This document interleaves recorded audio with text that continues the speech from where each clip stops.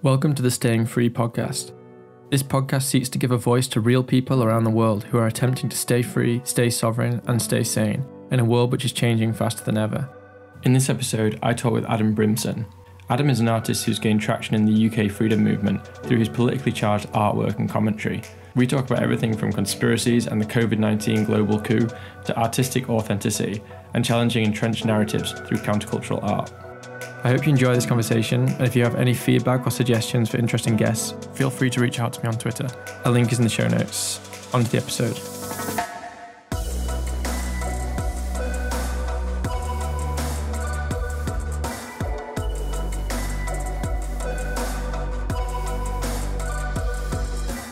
All right, Adam, thanks so much for coming on. I'm really looking forward to talking to you today. I love that you've already got the uh, V for Vendetta picture in the background. So we're already setting ourselves up in the right direction. Do you want to just give a brief introduction uh, to yourself and uh, what you do? Yeah, I'm Adam Brimson Designs. I'm an artist, mainly painting, but I do like illustrations, some digital work, and kind of maybe what more people know is I comment on kind of like things that are going on in the world right now. Yeah, so we kind of connected quite early on. I feel like we've been connected for quite a while um, since the early days of the kind of COVID 1984 era, um, yeah. which is kind of a strange thing. But um, I, I get the impression that both of us have developed uh, a much bigger following as a result of that. Um, so I guess let's start from the beginning of um, what was it you started to notice that you started tweeting about? Um, where was your kind of moment of feeling like it wasn't something quite right about everything going on in the world with regards to coronavirus? So, for the, I would probably go back maybe to like the previous year, 2019, because that's where I started to get active on Twitter, and um, I was basically using it to promote my art, but I was also like commenting on like the the crazy things that were even going on back then. It wasn't until when was it? Kind of like February, March of 2020, where all of a sudden the I felt like the media had gone from it's they, they weren't really paying attention to it to oh we're going to have to follow China and then Italy. And then it was like now we have to lock down. And it was that moment where I thought this is a lot more sinister than what we were kind of like thinking it was back in January, which was like nothing too too bad. And it kind of from that from the moment we locked down, I just kind of like knew that things won't be the same for quite a long time. Yeah, so it sounds like you were quite early on clocking onto it because for myself, I actually didn't really figure out that there was anything amiss until around April. My kind of moment of starting to really question things was around about the time when kind of mandatory masks were introduced way after the peak and things seemed to be and, and the conversation started to shift towards vaccines long before a vaccine was ever uh, found um, or or I presume it was in development, but um, long before we ever knew that there would be a successful vaccine. Whether or not you believe that we do have a successful one is a different question. But um, it sounds like you were pretty early onto that. So, what was it um, about what you saw with the lockdowns happening in Italy that raised questions in your mind? That's my uh, conspiracy theorist nature. Um, and that just goes back to I've, I've always been kind of uh, like distrustful of the uh, narrative anyway. But it's always come in sort of different sort of like levels. So sometimes, some early on in life, I kind of like I didn't know much, so it's just kind of like I didn't really accept the way things were. I then kind of realised these sort of conspiracies at 9/11 and things like this. So it's kind of like I had a moment where I kind of thought this was uh, maybe like a bio weapon, and um, I was thinking maybe the media is trying to suppress it a little bit. I didn't feel like it was covered initially, like that big. And eventually, when it got down to things like lockdown, that's where I thought there's there's more to this than um, meets the eye. Once you give too much power to the government, once you once they can say to you you can't you can't work, like they they literally said you're not essential. If you literally tell, allow the government to tell you that only essential people can work, then to me that doesn't uh, sit right, and I don't think that's sat right for a lot of people because you're kind of allowing the government to dictate when and why you you can work. You know, you you're it's, it's essential for everybody to work. So for me, that that was kind of as soon as we locked down, I was like, this is not what it what it seems. I thought initially, I thought uh, Boris was going to go the other way because he was talking about herd immunity, but then he quickly backtracked on that, and uh, a couple of days later, we were following along with Italy and China. Yeah, and the interesting thing is when they say things like um, essential workers only, I'm surprised that most people don't recognize that this sounds incredibly communist. I mean, you know, the, the whole point of a free market economy is that the government doesn't get to decide what's essential and what's not essential, that the flow of goods and services is based upon demand. And if you are someone who is working in a restaurant or someone who is working in a hotel or someone who's an artist or you know someone who works in IT or media or whatever it might be none of these things were considered essential but actually they are completely interconnected to the rest of the economy and the idea that the government can come in and say well we've decided and determined that only these things are essential that seems inc- like an incredibly dangerous idea which was suddenly invited as a good idea or a reasonable idea uh, into Western societies where previously it wasn't. Yeah. And it, even from back then, they knew that it was a relatively high survival rate. So it was we were setting a low a low bar really for what we would completely uh, stop society for. That was my kind of feeling on anyway.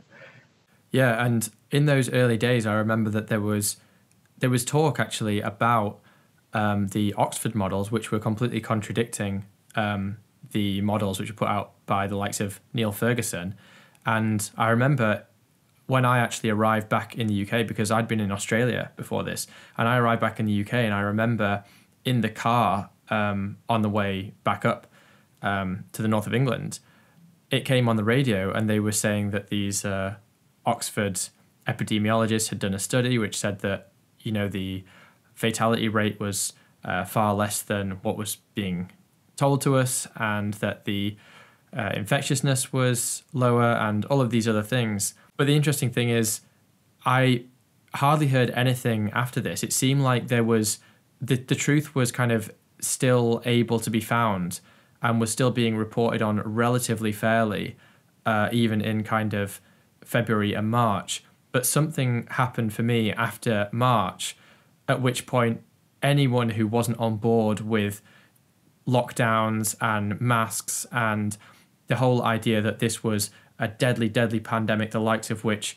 only happen, you know, maybe once in a century, um, that this was what we were experiencing. And it seemed like all of the other dissenting voices were just completely extinguished after March.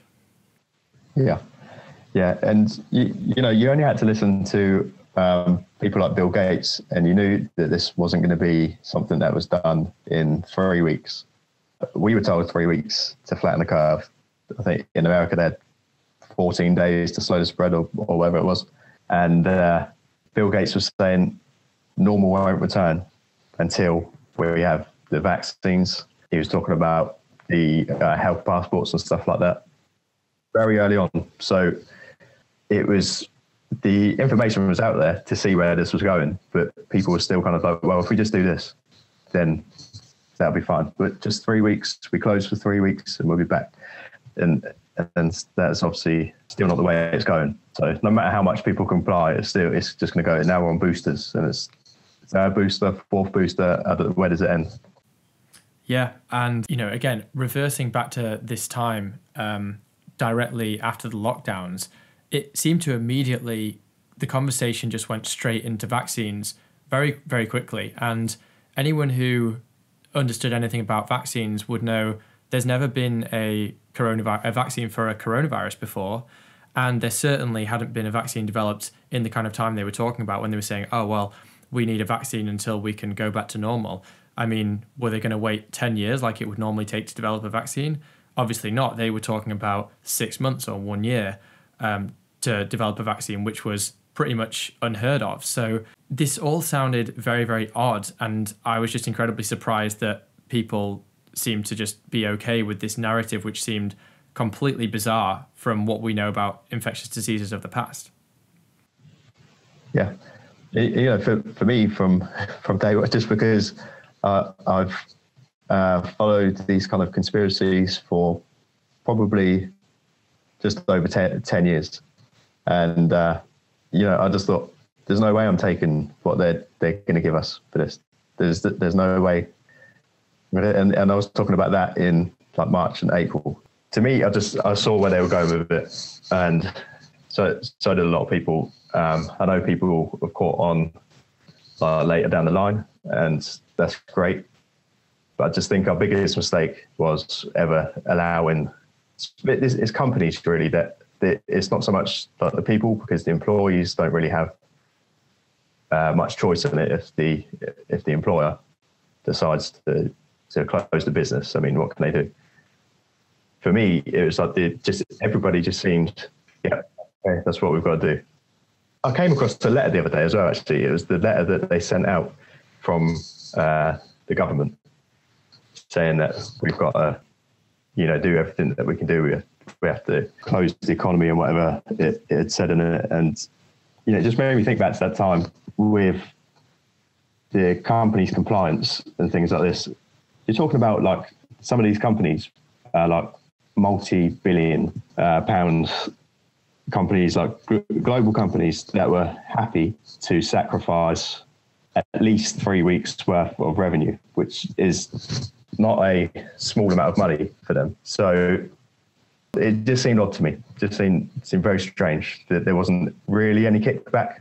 So, it, interestingly, I also several years ago became quite interested in I get yeah, I guess conspiracies is the right word, but for me it was in particular 9/11 that was uh, the thing that didn't make sense to me that I felt like the narrative that we were being told about it was completely unbelievable. I didn't necessarily agree with some of the conspiracies on the extreme end, but I certainly thought that the official narrative we were being told was absolutely crazy and then when the commission report was kind of censored with these pages linking what we now know was linking to the Saudi involvement. That kind of vindicated a lot of my earlier beliefs about it. But I kind of strayed away from a lot of that kind of thinking after 9 11. I, I kind of, I, I, I don't know why. I guess I just became interested in different things, or perhaps I saw the kind of failure of that 9 11 truth movement to really, really to have any kind of real impact. Yeah. And uh, I, I became in, and I became interested in other things. I guess I never completely ditched my activism or my interest um, and my desire for a better world and for better politics, etc. But I certainly moved away from the kind of conspiracy side of things. But now I kind of feel like I'm coming back to a lot of it um, because of the people who have recognized what's going on in the coronavirus situation seem to have kind of continued along a path which I guess I kind of moved away from. Didn't it wasn't that I necessarily didn't believe anything uh, or didn't believe there were further things to be investigated. I just moved away from them for whatever reason. You were obviously quite hyper aware to what was going on because you had obviously continued in that path of distrust. And I'm interested to know what is it that you see that we're moving towards, or that the kind of powers that be, the entrenched powers, the establishment, is trying to push us into? What's the world they want to create for us? Good question. Um, I don't claim to be like a, a an, an expert. It's just when when it came to to to us locking down, it was all of a sudden it was like, damn, every single conspiracy theory. Well, uh, not every single, but you know, they, uh, some of the most popular conspiracy theories. They're all about to come true here, and as we've seen this over the past two years, the conspiracy theorists have been more right than uh, the media have, have been on it. So where we're going, I I think I, I'm not sure if I really subscribe so much to not so much like the jabs are like a depopulation tool. It's possible, but I just kind of think this is a primer for something else. It's getting us to accept um, controlled movement. It, I think people are watching, uh, like uh, psychologists, kind of monitoring how how we react. If you look at the Rockefeller document from 2010, which they now said today is a complete conspiracy theory, with that they outline like different responses. And if you look around the world right now, different countries are doing different uh, levels of like authoritarian authoritarianism. So I think they're trying they're trying to get like a uh, a hold on humanity. Um, the end goal, like I, I don't know. We can only kind of guess what the actual like end goal is, but it definitely is about control and possibly depopulation. But I can't I can't be like completely um, sure about that. In a sense, I almost feel like those people who believe that there's some depopulation um, motive going on, and those who believe that there's a control motive going on, both of those could come from the same place, right? Because the way that I see it, um, the, those who are saying, "Ah, well, it's a depopulation thing." Well, why is it depopulation thing? You know, there's a lot that's tying into the kind of climate narrative, and there's too many people on Earth, and we need to depopulate the Earth by whatever it is, ninety percent. Mm-hmm. And then there's the people who think it's about control, and you ask them why are they trying to control, and it's similar reasons. It's well, you need to control people, you need to stop international travel, uh, you need to stop people from, you know, eating certain things or or driving certain distances or or using certain means of transport, etc. But the reason for that still comes down to ah, well, it's the climate. It's so. I guess the way that I look at this and my current um, theory is that it seems to be about trying to, like you say, craft a world according to the kind of desires, the kind of utopian, or many would say they are dystopian desires of a small elite, and that everything that we're seeing is just to give just to give more power and control to a very tiny elite. Yeah. So I, this, this is the mistake I think people make as well. Is when we talk about uh, like they or whoever the elite are, I think people uh, generally feel like, or they talk as if this is one entity, right, that is doing this. Because if it was, then they've already won, right? If it was one uh, group of people that control the world, then they've won already. They control the world. So what what do they, what else do they need to to accomplish? I think what we're seeing is the fact that this isn't one entity. I think there's think of it like Game of Thrones. There's many different uh, families or you know like alliances. They're all trying to establish themselves as the king or the ruling class. And you know, I don't I don't think it's one like family or one entity at the top. I think we have different people fighting for positions of power. Um, because otherwise, if they if they already ruled everything, then they could get away with whatever they want to do, which I don't think is the case. I don't think we're seeing that so much. I was listening to a podcast the other day, and I wish I could remember which podcast it was because I'd love to recommend it here. But someone was um, being interviewed, and they essentially said, you know, we've had these rules of the pa- of the past. Um, people like um, Alexander the Great and Genghis Khan, and uh, you know the leaders of empires like the Ottoman Empire, and you could put people like Hitler and Stalin and Mao into these categories. And for some reason, everyone seems to assume that these are just foregone historical figures and that now there's no human propensity for worldwide domination. And anyone who thinks that there is is just a complete conspiracy theorist. And I just think that that's just a complete denial of history and an inability, an inability to learn from history to deny that anybody would be vying for power in the world. And I kind of agree with you that there's probably an unholy alliance between several groups that all have some mutual interests. in this in this kind of I guess this this power struggle that we're seeing right now. Yeah. But it seems undeniable to me that there would be forces in the world that would want to dominate because there always has been and there probably always will be. That's it. And I don't, you know, that they might be moving in the same direction, but they're they're they have like different ways of going about it, which is what we're seeing like around the world. But it, there's things like they expl- explain if if they controlled everything, explain Brexit, explain like Trump and things like this. If you always kind of think, well, it's because that's they wanted that to happen, then I, I feel like we're sort of there is no hope, is there? Because then it's like whatever, whatever they do, and I, I don't think anybody has that type of power. I'm interested to know now that you mentioned Brexit and Trump, in particular Brexit, where did you stand on that? Leave. Okay, and what were your reasons? Um, but basically, the same reason I don't trust uh, the government right now is it, it's uh, we were part of a undemocratic uh, government. It didn't make sense to me that we have like a bigger government above ourselves. That we were in in that the EU is kind of seen as like a, or it was meant to. my, my thoughts have kind of like changed a little bit now as well. Not, I, I still would vote leave, but I feel like the whole thing is kind of knowing what we know now. Uh, it, it really doesn't make a difference. But going into it, it was kind of like that was the small kind of like globalist like agenda, having many nations acting as one state. That was kind of like the testing pot. So I don't, I don't know. As much as I believe in it, I don't think it's worked because what they've done essentially is taken us out of that and put us right into another set of constraints, you know, with other things. So, yeah, it seems like our new leaders are the WHO, the World Economic Forum, the UN.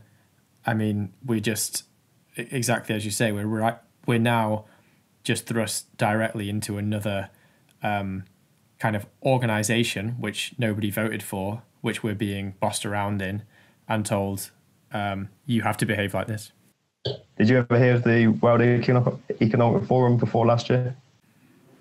I did actually hear of it, yeah, but I, like I think many people, I thought that this was some kind of really futurist, progressive kind of organization that was, you know, all about helping us to solve problems like climate change and helping us to. You know, I was very, very blue pilled on the WEF before last year. I'd never heard of it until. Oh, you hadn't? I, I'd, I'd made, no, I maybe got to sort of like August. People kept uh, messaging me on Twitter and like commenting on my, my things saying, "Oh, this is like a great reset and stuff like that." And I'm thinking, like, don't they just mean like the New World Order? That's because to me it was exactly the same thing. I was just kind of like, right, okay, there must be like a, a new word for like the new world order. It wasn't until I'd seen the video where they're talking about, oh, you'll learn nothing and you'll be happy and all this kind of like stoking shit. And it's, that's where I thought, oh, okay, I'll, look into this. And it's like, yeah, it's, it is exactly, it's what people talk when they talk about the new world order. It's kind of, that is exactly what that organization is. Yeah. What I find interesting, going back to the idea of these kind of um, utopias, uh, you know, I sometimes imagine that these um, utopians of the past, I mean, someone wouldn't necessarily refer to someone like Hitler as a utopian, but I, I think that according to any definition, that was what he was vying to be. We all agree that it was not a utopia, but in his mind, he wanted to create a p- pure society, um, you know, where the Aryan race was the master race and the unclean were ridden from society, etc. And I sometimes wonder, well, what would a utopian society look like today, according to someone's vision? And it seems to me like the WEF and uh, some of these other technocratic organizations and individuals, their idea of a utopia appears to be some kind of technocratic utopia based upon AI and, um, you know, clean energy and at any cost, you know, very similar to the kind of coronavirus idea. It's like a, an eradication of all disease, an eradication of um, anything that's uh, that's unclean, um, everything must be pure, and no matter what human cost is, no matter what economic cost is, it's like we have to have this society where everyone's got self driving cars and is using QR codes for everything. And I genuinely believe that these people think that this is a utopia but it's according to their own incredibly narrow views and they're just so arrogant that they think ah well of course society has to live by our utopia but in reality people are complex and we don't want to live under these systems as prescribed by these um, utopianist kind of technocratic maniacs yeah i think you you um, nailed it there with the people com- complex because what they're doing is essentially saying well you all have the same needs and we've got a way to, to solve it. That, that's the way they sell it anyway. I really don't think they like give a shit about us. It's more about their own. If you've got, and I don't even think I believe that the the actual population of the globe is like nearly eight billion people. If you if we just go by their figures, let's say eight billion people, and they need to control eight billion people against the let's say one percent, right? I mean, they're just completely outnumbered. And if they're kind of expecting like an uprising of some sort or, you know, some sort of maybe tragedy in the future that might kind of jeopardize their uh, wealth or assets at least, then they want to kind of get a grip and make sure that people are put in their place before these things happen, you know? Yeah, which brings me on to another um, idea that I have, which is that I, I think that a lot of this has to do with the collapse of fiat money, the pending, the impending collapse of fiat money, and that they see the writing on the wall and they need to create a kind of society whereby we are essentially completely restricted from having any kind of uprising against um, the elites. And I, I, we're using words like elite, and I don't necessarily like to use those words because these people aren't elite through through merit; they're elite through fiat. You know, they've they just appointed themselves and they have access to the money printer, and therefore, you know, they are the elites. You know, they are the kind of the people who just suck from society and don't create any value. So I don't particularly like using that word, but for the sake of conversation, um, it's useful. Yeah. But it seems to me that these people recognize that there is a collapse coming, and I totally agree with what you just said there. I think that fiat money is the impending collapse and they are preparing themselves for that by ensuring that they have enough controls over us that they can just turn the dials from their kind of places upon high. And if you decide to, uh, much like in China, you know, this is obviously sounds conspiratorial, but it's not untried. You know, we have the example in China where they have created a society which is almost impossible for a revolution to happen because if you try to start a protest in China, your social credit score gets eradicated. The government, you know, they're tracking you, your your face. You know, um, they know who you're in contact with, and you will just end up disappearing. And it seems like they're trying to create the same world in the West because perhaps they are afraid that um, we have revolutions incoming in the West as well. I think we're seeing it right in a few countries. Um, is it Italy, Netherlands? I think they were having where was the place that was getting really uh, violent? That was Netherlands. That was Netherlands, yeah. So when they're saying things like forced mandatory uh, vaccination, you just kind of you think there's there's absolutely no sense in having like a blanket form of treatment for something, something that doesn't actually protect you anyway. It can still transmit and all this kind of stuff. Right, but so I, my feelings. Sorry, go ahead. I was just going to say there has to be like another level to this thing. This is obviously what we all kind of um, kind of think about. Like, what what else is it about? The only logical thing for me is you get people hooked into a system. Now, I did say kind of like a couple, a couple of days ago, I think I put a tweet out and I said, uh, what happens if people don't take the boosters? I, I don't know what happens, but um, it's just something that I think people haven't thought about too much. This section of the conversation has been censored in order to meet the community guidelines. For the full uncensored version of this conversation, please check the description for links to censorship free platforms. Obviously, I have no proof of that, but it's it's weird that they would kind of have this. You need to keep on top of your boosters. Eventually, people are going to get to the of, I don't want to keep taking these boosters. They don't want to have it every six months. So they need coercion. This section of the conversation has been censored in order to meet the community guidelines. For the full uncensored version of this conversation, please check the description for links to censorship free platforms. Yeah, that's that's entirely fine. This is the thing. I'm I'm not a scientist. I'm not a doctor, and I, I cannot uh, speak on these things with any sort of uh, authority. It's just for for me. It's just it's a thought worth pondering. You know, like what happens if you don't take the boosters now? Right. And one of the problems with this is that now that they are saying, well, if you don't take a vaccine every six months, you become unvaccinated. Yeah. Well, now they've just created a situation by which everyone who doesn't take the booster now becomes considered unvaccinated. And now all of the statistics will say, well, these people are all unvaccinated and there's a pandemic of the unvaccinated. But what it actually is, is people who have taken the vaccine but haven't taken the latest booster, they're now con- considered unvaccinated. So you now have a situation where you can't actually identify fully unvaccinated from people who have had a series of vaccines but simply haven't taken the latest booster. And you could easily imagine a scenario where the figures are essentially completely biased and skewed in favor of saying, oh, well, look, the vaccine protects. But actually, it's just the booster protects the latest um, variant. Mm-hmm. This section of the conversation has been censored in order to meet the community guidelines. For the full uncensored version of this conversation, please check the description for links to censorship free platforms.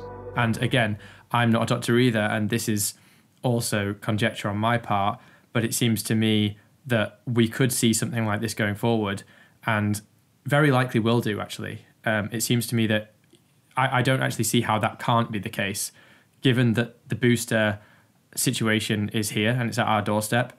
I don't see a situation whereby those people who don't take the latest booster are not now going to enter the unvaccinated figures and it's going to be impossible to actually tell. This section of the conversation has been censored in order to meet the community guidelines. For the full uncensored version of this conversation, please check the description for links to censorship free platforms. Yeah, that's a good point. The other thing as well, I've seen people saying that there's people with two jabs now, if they don't take the third jab, they're classed as unvaccinated. So now it's the unvaccinated that is they're going to if they go to hospital, it's because they're unvaccinated, because they're not going to report on the fact that they've had two jabs because they haven't had the third.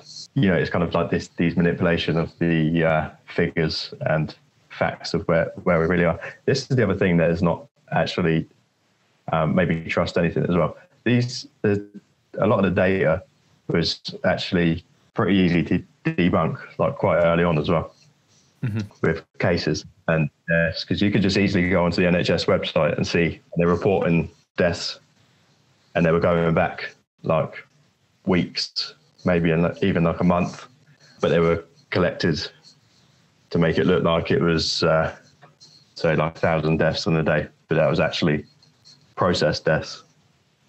Yeah, and this kind of skewing of data and of definitions as well just seems to be happening consistently. I mean, first of all, we had the very fact that you're considering someone a case who has had a positive test who has no symptoms. I mean, I don't recall any other time that we've treated illness like this where you're not actually ill and you're considered a case for something because you've had uh, a swab put down your throat at a higher cycle threshold that we're told is even useful to tell you whether you have an illness at all, and they're being considered as a case. And then we have the situation of the vaccines, which. This section of the conversation has been censored in order to meet the community guidelines. For the full uncensored version of this conversation, please check the description for links to censorship free platforms. Used to be the case that if it doesn't provide immunity, it's not a vaccine. Um, well, now we just change the definition of a vaccine and say, well, it doesn't have to provide immunity. Uh, you know, it just has to reduce your symptoms, which technically means that anything can be a vaccine. Mm-hmm. Technically means that other therapeutics can be a vaccine. I mean, paracetamol could be a vaccine according to that definition. And now it seems that the latest um, changing of a definition is the very definition of being vaccinated. Now it's, well, you have to have had all of your boosters up to date uh, and if you're not, then you're unvaccinated. So we're now changing definitions once again Um, and it just seems like there's no meaning anymore. We've we've lost all meaning, and I guess maybe this is the sign of a the end times of a civilization, which is just that you cannot assess truth because definitions are being changed to fit the narrative rather than us having any basis for truth whatsoever to assess these things. We can't really assess truth under the way that we're doing things because we're constantly shifting sand under our feet. Yeah. So, and this is kind of, I just want to touch on the point that they, uh, I, was, I was just about to, I was just about to say they killed him, but uh, that's my consp- conspiracy theory person uh, talking with that. But uh, Kary Mullis, mm-hmm. the inventor of the PCR test, hated Fauci and even said that it's not you can't use it for viruses. You know, you have to it it can pick up anything. It tell you that you you can have anything if you're looking for it, you'll find it. And uh, it, I just find it very what what a coincidence. This this is like two years of coincidences, you know, and uh, we're meant to brush these off as coincidence. The the media are kind of in playing catch up to what's the word I'm looking for? Uh, debunk the the, the conspiracy theorists basically they're, they're playing catch up all the time because now they're saying that this Rockefeller document isn't a sort of like playbook on what's happening, even though there is instances that there is. What is that document? It, it was a document that they released. I can't remember the name of it, but it's done by the Rockefellers in 2010. Was it Operation Lockstep or something like that? Operation Lockstep was one part of it. It wasn't the whole document. So there was um, Lockstep was a lot of what you saw over here. I can't quite remember the exact details, but Lockstep was just one part of it. The other parts were kind of a nation that didn't do anything, maybe Sweden or you know some places, and then there was other places that went all out. Maybe that could be Australia, you know. Mm-hmm. So that that's what seems like strange to me is if you're trying to, if the media is trying to de- debunk this now, it's like if you were genuine in kind of trying to get to the to the facts of things, how come this document outlines like some of the ways that places have reacted? Now, on its own, it's not proof of anything. But for me, like I was saying about Kary Mullis, he's died like literally in August 2019. Then they had the COVID 19 uh, what was the one for the Bill and Melinda Gates? Event 201. Event 201, yeah. Yes. And this happened literally like a month before everything went crazy in 2020. So this was that was at the end of 2019. Yeah. And then we just we there's countless coincidences that have happened over the past two years.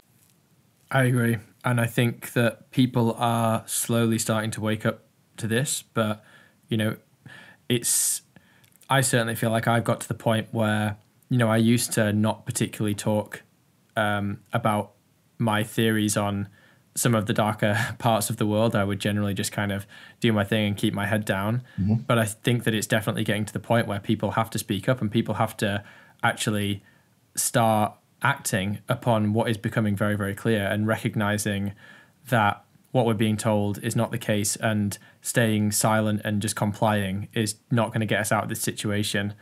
And um, I definitely appreciate everything that you're doing on Twitter because you know you're a very um, public person and you just put your thoughts out there and um, you know you're just uh, very out there and honest and uh, I think that's always great. I really enjoy like seeing your tweets and stuff.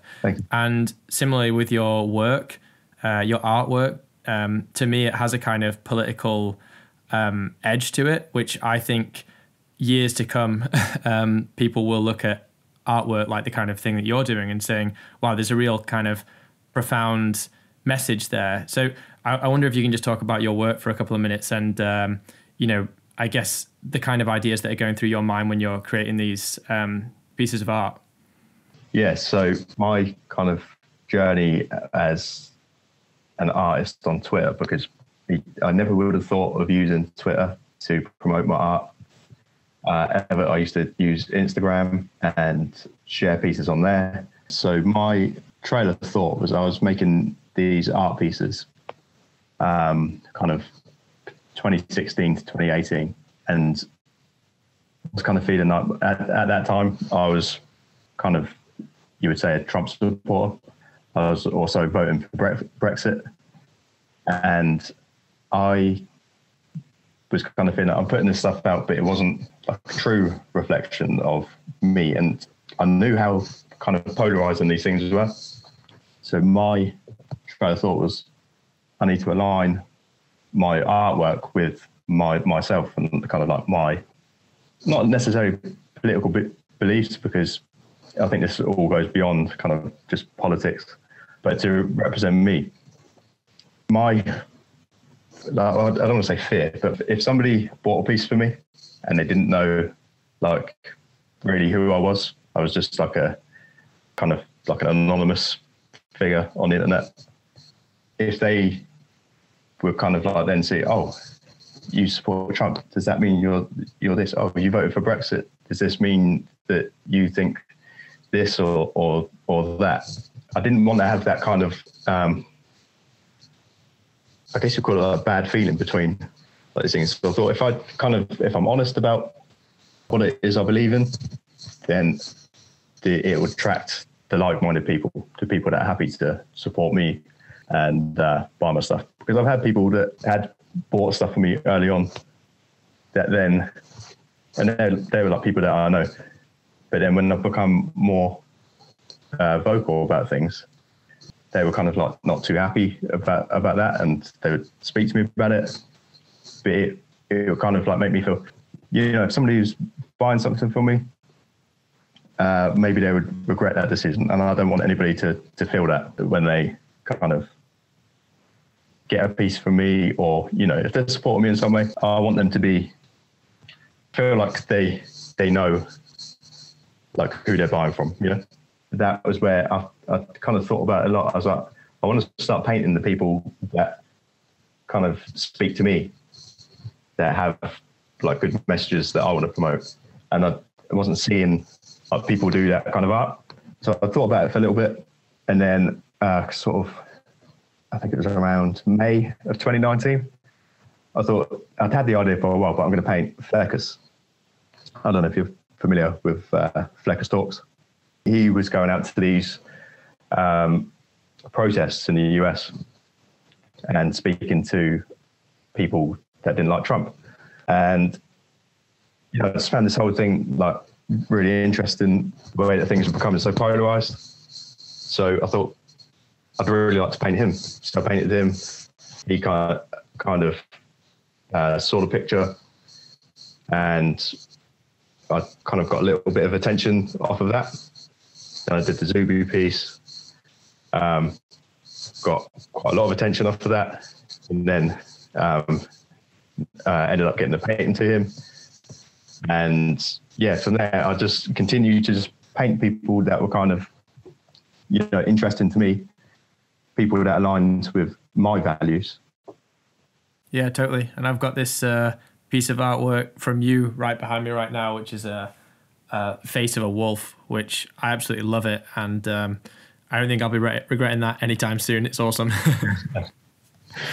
yeah, no, thank you. Um, it's it's a it's a good piece, um, and and this is exactly the kind of thing because we got to know each other through the fact that we kind of share some kind of uh, beliefs in some in some ways. Um, you know, through the whole uh, COVID stuff, and that's exactly what like, I can be honest about what I say, and I know that somebody buying from me isn't going to later find out, oh, like that guy, he uh, doesn't believe this, but I believe so. Uh, it's more like our beliefs will align and I'll find the people that are kind of happy to support me. And I think that's kind of like what people need to do rather than complain about the media that is out there. Find the people that do align with your your beliefs and support them in some way. Doesn't even have to be buying things. Yeah, spend money. You just help them get the exposure. Yeah, totally agree. We've got to stay authentic to ourselves and also support other people who are kind of sharing in our worldview and our philosophy. Because if we're going to get this kind of um, countercultural movement off the ground, then you know we need to look to each other and support each other. And I think that that's going to just accelerate things.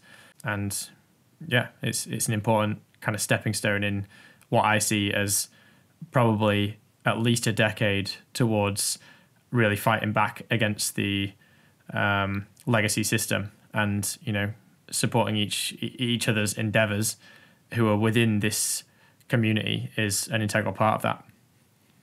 Yeah it's about it's about balance balance the things out because I, I, I wouldn't want to go like too far in one direction because then you can kind of get into trouble by the space being taken up by too much things. Somewhere there needs to be kind of like this balance of people can represent their ideas and it's up to people to decide which are the best ideas 100% because I, this is the thing i've been thinking a lot about a lot lately is that culture is kind of swayed by the uh, tv music uh, even artists. And we're seeing it with people like bryson gray knocking adele off of the itunes chart and things like this. When people get behind like these people, like we have the power to shift culture. Yeah. Yeah. It's not all about like oh, it's it's the people like to say oh, the artists, the the, the actors, or um, the people making the shows like Netflix or whoever it is. They're there to blame, but we can actually change like what we see in here because it's all uh, down from what people are exposed to. And if you watch a movie, it's pushing an agenda. You listen to a song, it's pushing the same agenda. You go on YouTube, the YouTubers pushing the same agenda. Uh, eventually, some people that are more impressionable, maybe younger people, start to think this is. It starts to um, kind of I want to say brainwash them essentially, but um, get them into the these kind of like things. You see with the activists and things like now. It's just it's pretty crazy the way like people think. But we have the power to support the people that align with our values, right? So we can't just sit there and complain and say, "Oh, Netflix is making uh, uh, what was that show? The kids like dancing." Oh, cute cuties or something. That's it, yeah. And uh, but on the other side of things, like there's people that make shows that are not about that. It's about getting these people into positions where they change, like the landscape of media, basically. Because when you're exposing people to to the messages, it's not my.